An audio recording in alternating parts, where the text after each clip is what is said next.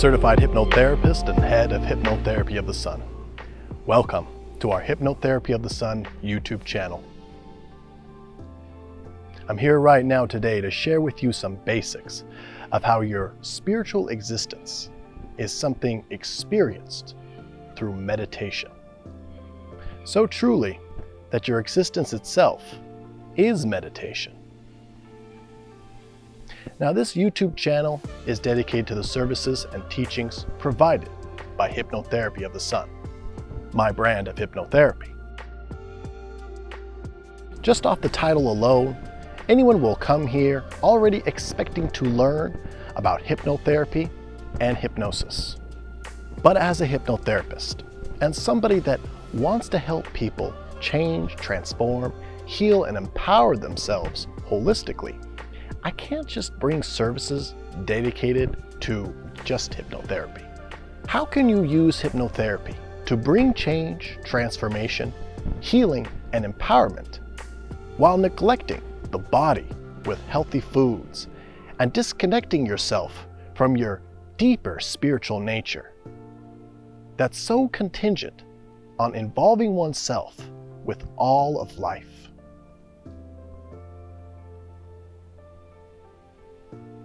So, with that said, I can't leave you with just helping your mind. I want to help you holistically.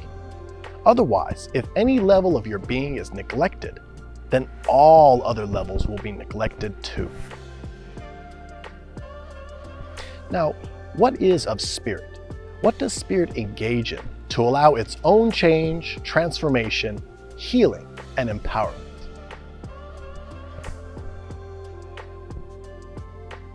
Or does spirit even need to deal in change, transformation, healing, and empowerment?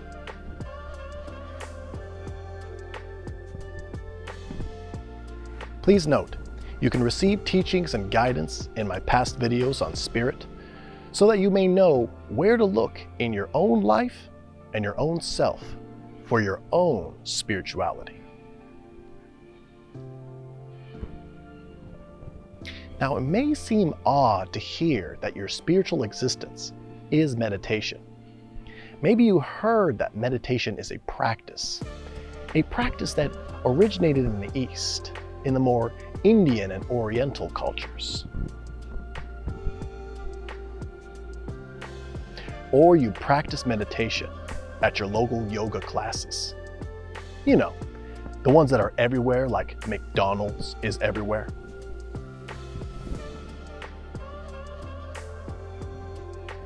Remember, to understand yourself as spirit, you must see how you truly, beyond your body and beyond your mind, you truly are of naught. Your body, your mind, they are what we can recognize as something or a thing in general. That which is spirit or spiritual is of nothing or of naught. So in this case, this must mean that meditation itself deals in an experience of nothing. Think of a meditative monk or someone practicing meditation.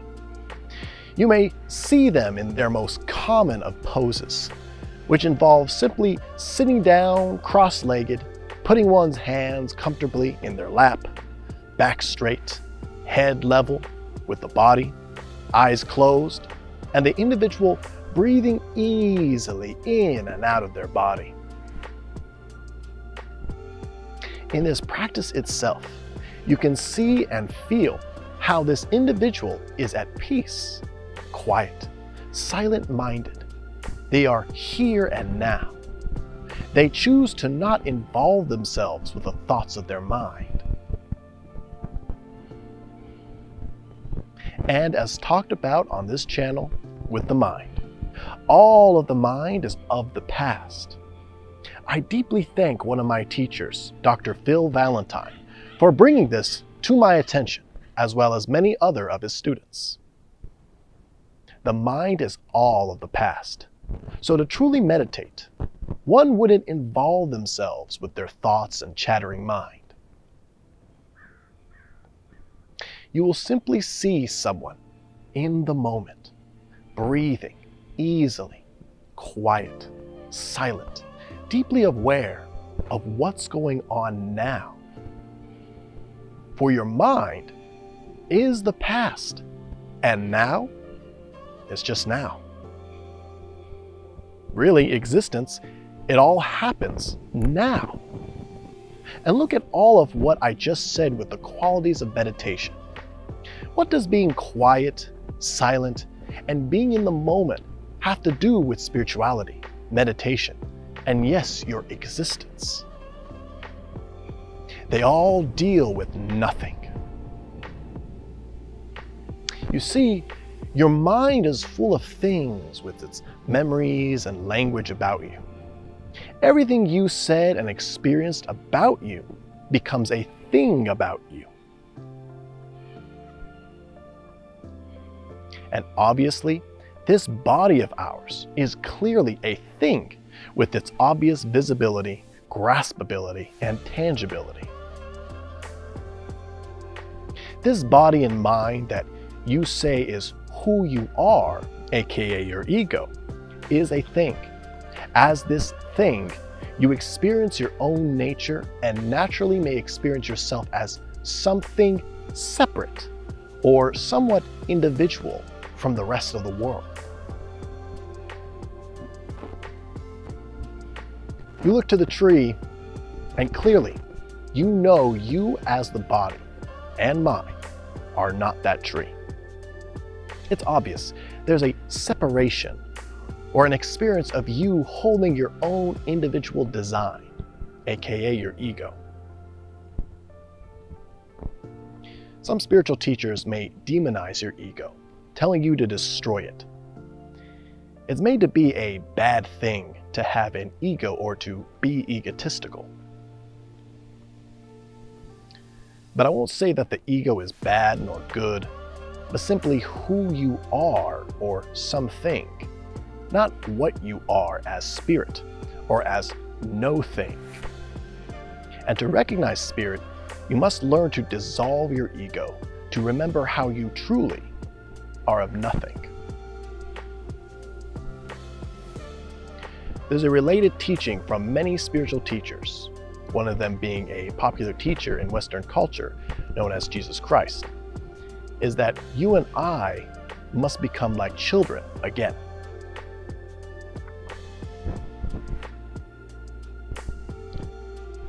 Think of the child, or better yet, think of a newborn baby. What's in that individual's mind? Nothing. No memories, no past, and at least, if anything, he or she is formulating one just by living already as it is. But starting out, you and I are simply a blank canvas. Are we not? And truly, we may have forgotten this about ourselves. We may have been getting wrapped up in all the things we have experienced in the past and how our body feels every day. Naturally, it's easy to forget that we were once and always are deep down a blank canvas. We are truly of nothing. And that's why meditation is our spiritual existence. Meditation is our primary experience of living in which there is nothing but pure potential to live any way we want, connected to all, right here right now, and forevermore. It's wise to practice, but practice is something that must lead to a true realization and remembrance that meditation continues after your practice is done. Meditation is not just a practice, but is our basic experience of life, aside from our mind's chatter and our body feel. And when one meditates, realizing how they are of naught, truly, they will then realize as well that they are truly of everything. Lots of metaphors and wordplay here, I know. But these metaphors and wordplay are nothing more than the mental platforms for you to jump off and dive into the experience of life.